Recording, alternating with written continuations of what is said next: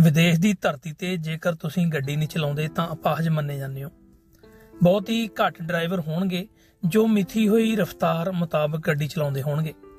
Licence ਉੱਤੇ point ਲੱਗਣ ਜਾਂ ਫਿਰ ਲਾਇਸੈਂਸ ਖੁੱਸ ਜਾਣ ਦਾ ਡਰ ਮੌਤ ਵਰਗਾ ਹੁੰਦਾ ਜਿਉਂ ਹੀ ਸਪੀਡ ਕੈਮਰਾ ਆਉਂਦਾ ਤਾਂ ਸੁਰਤ ਟਿਕਾਣੇ ਆ ਜਾਂਦੀ ਹੈ। ਪਰ ਜਦੋਂ ਹੀ ਸਪੀਡ ਕੈਮਰਾ ਲੰਘ ਜਾਂਦਾ ਤਾਂ ਪੈਰ ਮੱਲੋ ਮੱਲੀ ਰੇਸ ਵਾਲੀ ਕਿੱਲੀ ਤੇ ਪਹੁੰਚ ਜਾਂਦਾ ਹੈ। ਸਪੀਡ ਕੈਮਰਾ, ਲੰਘਣ ਸਾਰ ਗੱਡੀ ਦੀਆਂ ਧੂੜਾਂ ਪਟਣ ਵਾਲੇ ਤੱਤੇ ਡਰਾਈਵਰਾਂ ਨੂੰ ਠੰਡੇ ਕਰਨ ਲਈ। ਗਲਾਸਗੋ 'ਚ ਇੱਕ ਜਗ੍ਹਾ ਅਜਿਹੀ ਵੀ ਹੈ ਜਿੱਥੇ ਕੈਮਰੇ ਲੱਗੇ ਨੇ, ਇੱਕ ਨਹੀਂ, ਦੋ ਨਹੀਂ, ਤਿੰਨ ਤਿੰਨ ਕੈਮਰੇ ਲੱਗੇ ਨੇ ਕੁਝ ਕੁਝ ਵਕਫੇ ਤੇ।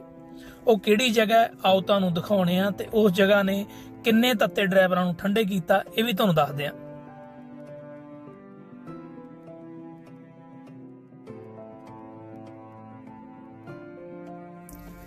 ਜਦੋਂ ਅਸੀਂ ਗਿਫਨਕ ਵਾਲੇ ਪਾਸੇ ਤੋਂ ਡਾਰਲੀ ਵੱਲ ਨੂੰ ਜਾਂਦੇ ਆ ਤਾਂ ਸੇਂਜਬਰੀ ਲੰਘਣਸਾਰ ਨੈਟਸ਼ਲ ਰੋਡ ਤੋਂ ਖੱਬੇ ਹੱਥ ਨੂੰ ਇੱਕ ਸੜਕ ਬਾਰਹੈਡ ਨੂੰ ਮੁੜਦੀ ਆ, ਜਿਸ ਦਾ ਨਾਮ ਪਾਰਕ ਹਾਊਸ ਰੋਡ।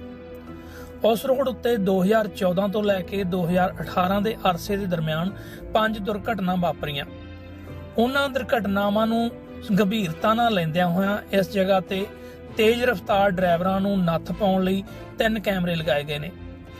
ਇੱਕ, ਜਦੋਂ ਤੁਸੀਂ ਨੈਟਸੈਲ ਤੋਂ ਉਸ ਰੋਡ ਦੇ ਉੱਪਰ ਚੜ੍ਹਦੇ ਹੋ ਤਾਂ ਚੜ੍ਹਨ ਸਾਰ ਹੀ ਉਚਾਈ ਦੇ ਉੱਪਰ ਤੁਹਾਨੂੰ ਇੱਕ ਕੈਮਰਾ ਲੱਗਿਆ ਨਜ਼ਰ ਆਉਂਦਾ ਉਸ ਤੋਂ ਬਾਅਦ ਵਿਚਕਾਰ ਦੇ ਵਿੱਚ ਤੇ ਅਗਲੇ ਛੋਟੇ ਰਾਉਂਡ ਬੋਰਡ ਤੋਂ ਪਹਿਲਾਂ ਇੱਕ ਕੈਮਰਾ ਹੋਰ ਲੱਗਿਆ। ਕਿਉਂਕਿ ਬਾਰ ਹੈਡ ਵੱਲ ਨੂੰ ਵੜਨ ਤੋਂ ਪਹਿਲਾਂ ਇਹ ਤਿੰਨੇ ਕਮਰ- ਕੈਮਰੇ ਕੁਝ ਵਕਫੇ ਤੇ ਲੱਗੇ ਹੋਏ ਨੇ। ਤੇ ਜਦੋਂ ਹੀ ਤੁਸੀਂ ਕੈਮਰਾ ਲੰਘਣ ਸਾਰ ਗੱਡੀ ਭਜਾਉਂਦੇ ਹੋ ਤਾਂ ਜਿਹੜਾ ਅੱਗੇ ਲੱਗਿਆ ਕੈਮਰਾ ਉਹ ਤੁਹਾਨੂੰ ਬਾਜ ਵਾਲੀ ਅੱਖ ਨਾਲ ਦੇਖਦਾ ਤੇ ਫੜ ਲੈਂਦਾ। ਤੇਜ਼ ਰਫ਼ਤਾਰ ਡਰਾਈਵਰਾਂ ਦੀ ਸੁਰਤ ਟਿਕਾਣੇ ਲਿਆਉਣ ਲਈ ਗਲਾਸਗੋ ਵਿੱਚ ਅਜੇ ਐਵਰੇਜ ਸਪੀਡ ਕੈਮਰੇ ਤਿੰਨ ਜਗ੍ਹਾ ਲਗਾਏ ਗਏ ਸਨ।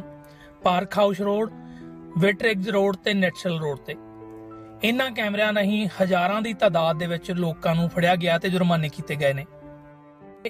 ਇਹ ਕੈਮਰੇ 5 ਨਵੰਬਰ 2021 ਨੂੰ ਲਗਾਏ ਗਏ ਸਨ ਤੇ ਨਵੰਬਰ 2022 ਤੱਕ 1013 ਜਣਿਆਂ ਨੂੰ ਜੁਰਮਾਨਾ ਹੋ ਚੁੱਕਾ ਜਿਹੜੇ ਬਹੁਤ ਹੀ ਜ਼ਿਆਦਾ ਤੇਜ਼ ਰਫ਼ਤਾਰ ਦੇ ਨਾਲ ਗੱਡੀਆਂ ਲਿਜਾ ਰਹੇ ਸਨ। ਇਹਨਾਂ ਵਿੱਚੋਂ 131 ਡਰਾਈਵਰ ਉਹ ਸਨ, ਜਿਨ੍ਹਾਂ ਨੇ ਭੇਜੇ ਗਏ ਜੁਰਮਾਨੇ ਦੇ ਜਿਹੜੇ ਕਾਗਜ਼ ਪੱਤਰ ਸੀ, ਉਹਨਾਂ ਨੂੰ ਅਣਗੌਲਿਆਂ ਕੀਤਾ।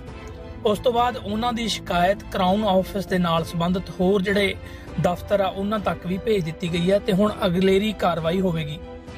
ਇਹਨਾਂ ਤੱਤੇ ਡਰਾਈਵਰਾਂ ਦੇ ਵਿੱਚੋਂ ਇੱਕ ਮੋਟਰ ਚਾਲਕ ਇਹੋ ਜਿਹਾ ਵੀ ਸੀ ਜਿਹੜਾ 30 ਦੀ ਸਪੀਡ ਵਾਲੇ ਇਸ ਰੋਡ ਦੇ ਉੱਪਰ 60 ਤੋਂ ਵਧੇਰੇ ਦੀ ਸਪੀਡ ਨਾਲ ਗੱਡੀ ਚਲਾ ਰਿਹਾ ਸੀ।